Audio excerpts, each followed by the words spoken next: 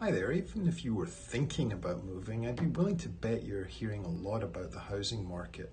Here's what we've got to realize. The last few years were a wild ride. We saw record breaking numbers pretty much across the board in the housing market.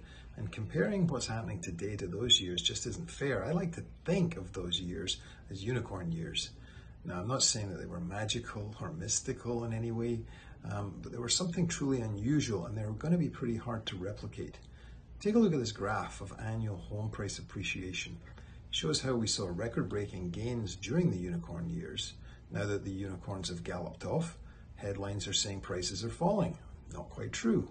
While home price appreciation has moderated from those record peaks, we're actually back in line with where we were before those years, and nationally prices are starting to climb again. So if the headlines have you worried, know this. A lot of those stories are based on an unfair comparison.